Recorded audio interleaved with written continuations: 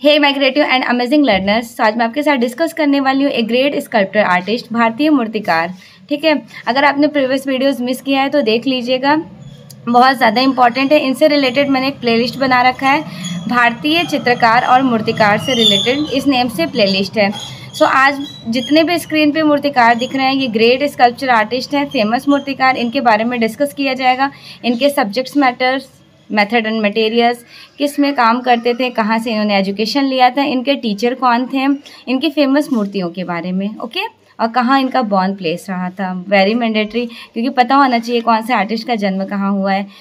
P V Janaki Raman Madan Bhatnagar Himmat Shah, Raghav Kaneria, Nagji Patel Balbir Singh Katt उसके बाद है Mrinalini Mukherjee, Arjun Prajapati, Latika Katt, Biman Bihari Das, Anita Dubey and Pritpal Singh Lati make sure कि आज का वीडियोस आपके लिए बहुत यूज़फुल होगा। आफ्टर दिस क्लास फीडबैक देना बिल्कुल नहीं भूलिएगा। Okay everyone so let's start so आज मैं आपके साथ डिस्कस करने वाली हूँ पी वी जानकी रमन के बारे में। इवन अगर आपने first and second videos miss किया है तो देख लीजिएगा, जिससे आप इजिली कम्युनिकेट कर पाएँगे।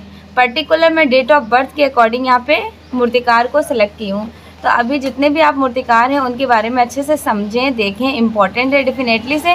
कॉम्पिटेटिव एग्ज़ाम से यहाँ पे कहीं ना कहीं आपको क्वेश्चन देखने को मिल जाएँगे। ये मेरे शॉर्ट एंड क्रीमी नोट्स है, जिससे मेरा खुद का सिलेक्शन हुआ था। चलिए तो फिर स्टार्ट करते हैं पी वी जानकी रमन के बारे में। इनका जन्म हुआ था 1930 ये वाला पॉइंट इंपॉर्टेंट है, ये ध्यान रखना है, कब जन्म हुआ? 1930 में। कहाँ पर इनका जन्म हुआ था? तो इनका जन्म हुआ था चेन्नई में। चेन्नई में जन्म हुआ था। चेन्नई में इन्होंने एजुकेशन भी ली थी और वहीं पर वो टीचर भी बनते हैं। किस माध्यम में काम करते हैं? माध्यम ध्यान रखना है आपको कि तांबा, सीमेंट और धातु की चादर में काम करते थे। इनकी टेक्निक कौन सी थी? तो रिफ्रिजर टेक्निक उपहारदार प्रक्रिया। सीमेंट में जानकी राम ने कुछ प्रभावशाली सभी पोर्ट्रेट्स ने भी बनाए थे, बिल्ली, मूर्ति शिल्प बनाए, लेकिन वास्तविक काम धातु की चादर पर इन्होंने ज़्यादा से ज़्यादा किए। इनकी मूर्तियाँ गरुड़ बहुत इम्पोर्टेंट मूर्ति है। बिल्ली, उल्लू, गिद्ध, ईसा मसीह, वर्जिन, देवी देवता, वुमेन, किंग, गणेश। गणेश इन्होंने ऑक्साइड तांबे में बनाए थे। पूछा गया है, गणेश कितनी बार कि किस मटेरियल में बनाया गया था ऑक्साइड तांबा? पीवी जानकी राम फ़ेमस क्यों है? किस टेक्निक के लिए? रिफ्यूज़र टेक्निक के लिए। युद्ध की देवी देवी भक्तों के साथ योद्धा कालिया मर्दन और डीओटी इनकी डीओटी भी बहुत इंपॉर्टेंट है। इन सारे जितने भी मूर्तियाँ हैं, इनके शॉर्ट्स भी मैं बना रखी हूँ। देख ले करें एक एक मिनट के शॉर्ट्स होते हैं। नेक्स्ट है मदन। भटनागर। मदन भटनागर का just P V Janaki Ram के एक साल बाद जन्म होता है उन्नीस ईस्वी में, ग्वालियर एमपी ग्वालियर एमपी में। ये धातु संगमरमर में काम करते थे शांति निकेतन से। नेक्स्ट है हिम्मत शाह। हिम्मत शाह के सारे पॉइंट्स इंपॉर्टेंट हैं। 1933 में इनका जन्म होता है। लोथल, गुजरात में। वर्तमान में ये जयपुर में रह रहे होते हैं। इन्होंने एजुकेशन बड़ौदा से ली। किस मटेरियल में काम करते थे? तो मटेरियल यहाँ पर मैंशनड है टेराकोटा बोतलें टूटी जाली, फटा कपड़ा। ये ग्रुप 1819 से बिलोंग करते हैं, जिसका इस्टेब्लिशमेंट 1963-62 समथिंग हुआ था। जिसके फाउंडर कहे जाते हैं जे स्वामीनाथन। अब आप कमेंट सेक्शन में बताएँगे कि इसका उद्घाटन किसने किया था ग्रुप एटीन नाइनटीन का। ठीक है? मैं आपके कमेंट्स का वेट करूँगी। नेक्स्ट मूर्तियाँ। Homage to Rajasthan. Homage to Rajasthan is a very important sculpture and the next one शीर्ष ये दोनों मूर्तियाँ इनकी पूछी जा चुकी मूर्तियाँ हैं। नेक्स्ट है राघव कन्हेरिया। राघव कन्हेरिया जिनका जन्म हुआ था 1936 में। 1936 ईस्वी में जन्म होता है बड़ौदा शांको चौधरी से एजुकेशन लेते हैं। एज एटिस्ट ये एग्ज़ाम में क्वेश्चन पुटअप किया गया है कि इन्होंने एजुकेशन किससे लिया? तो शांको चौधरी से, बड़ौदा में। माध्यम काश्य कास्ट वुड टेराकोटा और मटके के टुकड़े के टुकड़े को कंपोज करके स्कल्पचर्स को क्रिएट करते थे।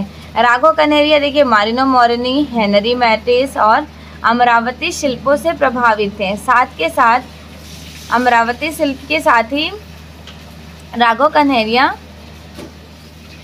भारतीय गायों, साड़ों, बछड़ों के बहुत सुंदर सुंदर मूर्तियाँ भी बनाते थे। तो बेसिकली क्यों फ़ेमस रहते हैं मूर्तियाँ किसमें बनाते थे? ज़्यादा से ज़्यादा बुल्स की बनाते थे।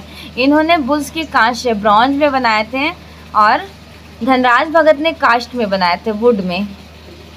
ये प्राचीन मूर्ति शिल्प, भारतीय शिल्पों व कुषाणकालीन मूर्तियों से भी प्रभावित रहते हैं इनकी मूर्तियाँ देखिए, इनकी सारी मूर्तियाँ इंपॉर्टेंट हैं। पहला है सुंदर साण, दूसरा है कलोल मारता हुआ बछड़ा, ये भी इम्पोर्टेंट है। लाल कलन से भी इम्पोर्टेंट है, राजसी मुर्गा, विस्फोट एंड बुलबुल इनकी कांस्य में बनाई गई थी ब्रॉन्ज में। राघव कन्हेरिया ने कांस्य में बुल मूर्ति बनाए तथा धनराज भगत ने काष्ट में बुल बनाए थे। नेक्स्ट है कन्ही कुन्ही रमन। कन्हई कुन्ही रमन, जिनका जन्म 1937 में होता है, केरल में। ये एजुकेशंस लेते हैं मद्रास से। इन्होंने केरला के मंदिरों से प्रभावित डिज़ाइनरों में भी काम किया था। केरल के एक मंदिर में काम किया। कुन्ही रमन का मुरक्का पेरमल, मुकोला पेरमल, ये काफ़ी बार एग्ज़ाम में पूछा गया क्वेश्चन है। मदर एंड फर्टिलिटी यक्षी, तीनों का आप पिक्चर्स देख लिएगा, जो भी बच्चे यूजीसी नेट दिसंबर वाली प्रिपरेशन कर रहे हैं। क्योंकि ये तो मैंने अपने शॉर्ट नोट्स शेयर कर दिए। मैं भी क्या करती थी नोट्स को बनाने के बाद गूगल पे सर्च कर करके इनकी सारी मूर्तियों की पिक्चर्स भी देखती थी। और अगर आप सर्च नहीं भी कर पाएँगे तो मैं एक मिनट का शॉर्ट शेयर करती हूँ। उन शॉर्ट्स को आप देख लिया करें। शॉर्ट्स में प्रॉपरली मूर्तिकार के एक एक मूर्ति की सारी मूर्तियाँ, मूर्तिकार की मूर्तियाँ होती हैं, कलाकार के चित्र होते हैं। नागजी पटेल, जिनका जन्म उन्नीस ईस्वी में हुआ था गुजरात में, वर्तमान में बड़ौदा में रह रहे हैं। शिक्षा बड़ौदा से लेते हैं। इनके गुरु थे स्थपति गणपति। गुरु का क्या नाम था? स्थपति गणपति। माध्यम संगमरमर में काम किए मार्बल्स में। ये रहस्य और एंडीक किस्म के रूपाकारों के लिए जाने जाते हैं। नागजी पटेल। नागजी पटेल अपनी मूर्तियों में शीशम की लकड़ी का यूज़ करते थे। ठीक है? शीशम की लकड़ी कॉस्टली आती है, उसी का यूज़ करते थे। नेक्स्ट संगमरमर के बड़े संवेदनशील इस्तेमाल इनकी कला में देखने को मिल जाता है। इनकी मूर्तियाँ हैं पिंक बस्ट। पिंक बस्ट जिसको गुलाबी धड़ बोलते हैं। वट वृक्ष, बनियान गेटवे, ट्री, चिड़िया, जानवर, एनिमल्स, ब्लैक पत्थर, काला पत्थर में एनिमल इन्होंने बनाए थे। नेक्स्ट है कीड़े मकोड़े, बीज, सर्प, अंगीठी। जितनी भी मूर्तियाँ आपको मैं यहाँ पे शो कर रही हूँ ये सारे स्कल्पचर्स बहुत ज़्यादा इंपॉर्टेंट है, क्योंकि मैं बहुत ज़्यादा बड़ा यूनिट आपके साथ शेयर नहीं की हूँ limited and short creamy notes अपने शेयर कर रही हूँ। सारे points important next Balbir Singh Katt, जिनका जन्म 1939 में होता है, रावलपिंडी, पाकिस्तान में। इन्होंने एजुकेशन शांति निकेतन रामकिंकर वैद से ली और टीचर ये बीएचयू में रहे थे ह्यूज फॉर्म में स्कल्पचर्स बनाने के लिए फ़ेमस थे। माध्यम पत्थर के बड़े आकार में मूर्ति शिल्प के लिए बहुत ज़्यादा पॉपुलर है। बालवीर सिंह कट्ट स्कल्पचर फोरम ऑफ़ इंडिया के संस्थापक भी कहे जाते हैं। उन्नीस सौ निन्यानवे से 2000 से बालवीर सिंह कट्ट गायब हो गए, इनका कुछ पता नहीं चल पाया। और लतिका कट्ट का आपने नाम सुना होगा? उनके हस्बैंड हैं बालवीर सिंह कट्ट पत्थर से बड़े आकार की मूर्तियों के लिए बहुत ज़्यादा फ़ेमस रहते हैं। इन्होंने गुलाबी चूना पत्थर, बैजनाथ पत्थर, काला संगमरमर और उड़ीसा वाले स्टोन्स का भी यूज़ किए हैं। इनकी सारी मूर्तियाँ फ़ेमस है, जितने भी स्क्रीन पे मैंने सेलेक्ट किया है। देखिए, जब मैं अपने नोट्स बना रही थी तो वो वो मूर्तियाँ इनका कैप्चर कर रही थी, जो एग्ज़ाम्स में पुटअप किए जा चुके हैं और इन फ्यूचर जो एग्ज़ाम में आने के चांसेस हैं। तो Nadeshwar the monument yellow sun spirit woods and cross तीनों ही इंपॉर्टेंट हैं। नेक्स्ट मूर्तिकार है मृणालिनी मुखर्जी। तो मृणालिनी मुखर्जी के नेम से आपको मैक्रोमा टेक्निक मेक्श्योर की रिकॉल हो जाता होगा और ये मिस मतलब किसकी बेटी थी? विनोद बिहारी मुखर्जी की। लीला मुखर्जी इनकी मदर हैं। मृणालिनी मुखर्जी 1949 में इनका जन्म होता है मुंबई में।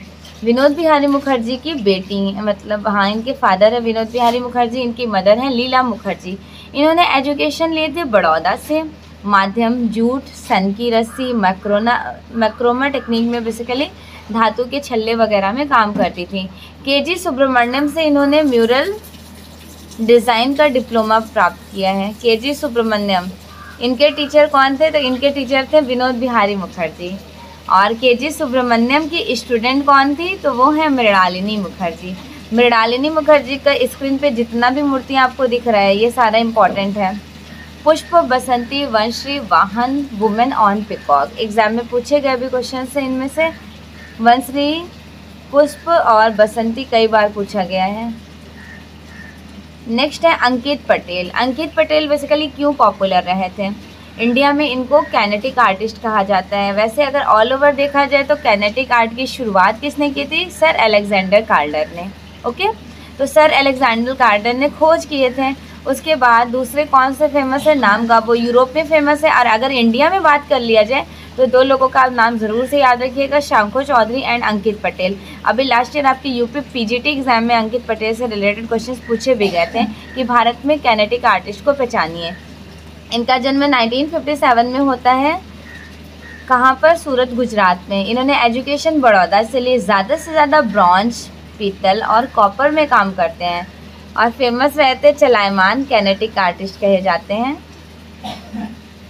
नेक्स्ट भारत में कैनेटिक आर्टिस्ट अंकित पटेल व शांखो चौधरी यूरोप में नाम गाबो एलेक्जेंडर कार्लर है।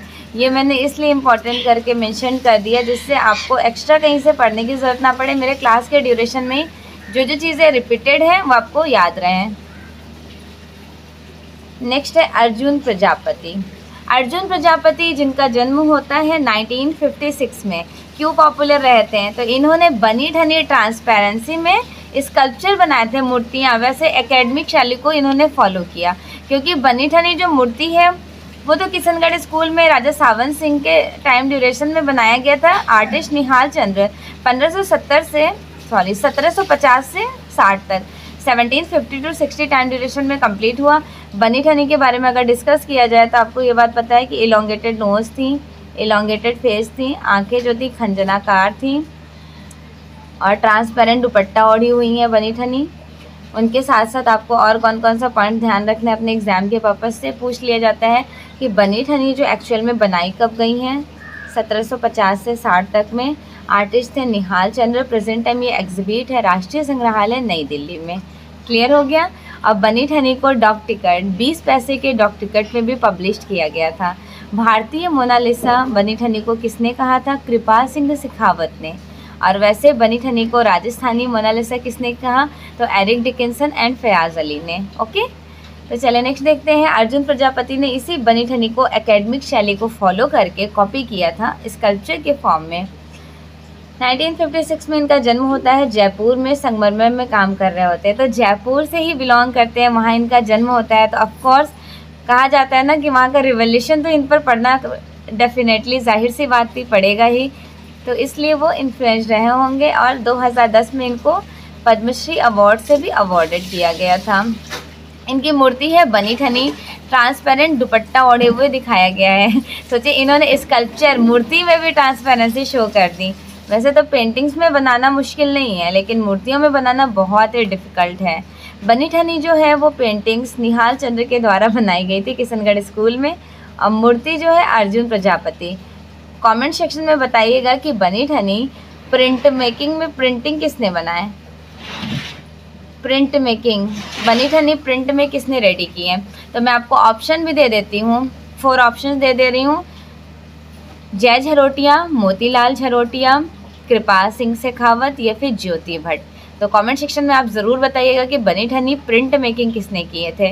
क्योंकि मूर्तियाँ अर्जुन प्रजापति ने बनाई, बनी ठनी मूर्ति अर्जुन प्रजापति। बनी ठनी जो पेंटिंग्स बनाई गई, वो निहाल चंद्र किशनगढ़ स्कूल का। बनी ठनी प्रिंट मेकिंग का आप कमेंट सेक्शन में बताइएगा, जिससे मैं क्लेरिफाई होंगी कि आपको पता है। और जिनको नहीं भी पता होगा, वो बता दिएगा कमेंट सेक्शन में। पर्टिकुलर वन स्टूडेंट का मैं रिप्लाई ज़रूर करूँगी वन बाई वन करके। अशोक गौड़, ये फिर मैं कमेंट करके पिन अप कर दूँगी, आप लोग वहाँ पे देख लीजिएगा। अशोक गौड़, जिनका जन्म 1965 में हुआ था, गया बिहार में। और इन्होंने एजुकेशन जयपुर व बड़ौदा से लिए। इनकी मूर्तियाँ हैं, योगा अगेंस्ट सन, आश्चर्यजनक चेहरा, वंडर्ड फेस, फूल तथा परिंदा। योगा व्यायाम से संबंधित मूर्ति शिल्प ज़्यादा बनाते थे। तो आपको ध्यान रखना है, पूछ लिया जाए कि कौन से ऐसे मूर्तिकार हैं जिन्होंने योगा व्यायाम से संबंधित मूर्तियाँ बनाई तो उनका नेम था अशोक गौड़। नेक्स्ट प्रीतपाल सिंह लाडी। इनका जन्म होता है उन्नीस सौ पचपन ईस्वी में सिलोंग फाइबर ग्लास में ये काम कर रहे होते हैं। नेक्स्ट विमन बिहारी दास। विमन बिहारी दास का डेट ऑफ़ बर्थ तो आप याद रख लीजिए यूजीसी नेट में कितनी बार इनका डेट ऑफ़ बर्थ से क्रोनोलॉजिकल सीक्वेंस लगाने को दे दिया गया। 1943 में इनका जन्म हुआ पश्चिम बंगाल में और ये चिंतामणि करके स्टूडेंट है। विमन बिहारी दास किसके स्टूडेंट है? चिंतामणि करके स्टूडेंट है। इनके गुरु थे चिंतामणिकर। ये कोलकाता आर्ट कॉलेज के प्रिंसिपल भी रह चुके हैं। इनकी देवी और मिथुन श्रृंखला की मूर्ति शिल्प बहुत ही ज़्यादा पॉपुलर है। इन्होंने पोर्ट्रेट्स भी बनाए थे, जिनको शबी कहा जाता है। इनकी दोनों मूर्तियाँ इंपॉर्टेंट है, Devi and Mithun also next है अनित दुबे। अनीता दुबे सॉरी अनीता दुबे। अनीता दुबे का जन्म 1958 में हुआ था लखनऊ में, और ये बड़ौदा में इन्होंने शिक्षा लिया। मूर्तिकार फोटोग्राफर दोनों कही जाएँगी। लतिका कट लतिका कट, अभी इनसे पहले इनके हस्बैंड बालवीर सिंह कट के बारे में मैं डिस्कस की। लतिका कट, जिनका जन्म हुआ था गाज़ियाबाद में 1948 में उत्तर प्रदेश। बीएचयू से एजुकेशन ली और बालवीर सिंह कट वहाँ पे बीएचयू में टीचर थे। इनके हस्बैंड है बालवीर सिंह कट। ये पत्थर के बड़े बड़े ह्यूज फॉर्म में स्कल्पचर्स बनाते थे। साथ के साथ इन्होंने मेटल्स में भी काम किया था। 1971 में अपने पति बालवीर सिंह कट्ट के साथ इंग्लैंड चली गई और 1973 में ही वापस आकर बड़ौदा कला विद्यालय से संबंध इनका रहा था। इनकी ज़्यादा से ज़्यादा जो मूर्तियाँ ये संवेदनशील अनुभूतियों के लिए पहचानी जाती हैं। इन्होंने पत्थर, उत्कीर्ण और मेटल कास्टिंग में भी काम किया। इनकी मूर्तियाँ हैं जयराम पटेल, पान खाते हुए, खेत, मकर संक्रांति। और दशा सुमेंट घाट। तो मकर संक्रांति एट दशा सुमेंट घाट तो ये दशा सुमेंट घाट को ही कैप्चर की बनारस में है। बाकी इनका तीनों इंपॉर्टेंट है। नेक्स्ट है जयराम पटेल। जयराम पटेल के बारे में नेक्स्ट क्लास में डिस्कस करूँगी। मेक श्योर कि आपको सारे पॉइंट्स अच्छे से क्लियर समझ आ गए होंगे। ज़्यादा बड़े बड़े मूर्तिकार नहीं हैं। मूर्तिकार के पाँच से आठ लाइन हैं। इनको आप याद करिए, अपने शॉर्ट नोट्स बनाइए। और वैसे ग्रुप में तो आपको पीडीएफ मैंने शेयर कर दिया है। आई थिंक आप लोगों को मिल गया होगा। तो चाहे तो अगर नोट्स का टाइम नहीं है तो इनको प्रिंट निकाल करके अच्छे से रिविज़न कीजिए। Okay thank you so much everyone after class feedback ज़रूर दीजिएगा। Again very very thank you so much and also best wishes for your exam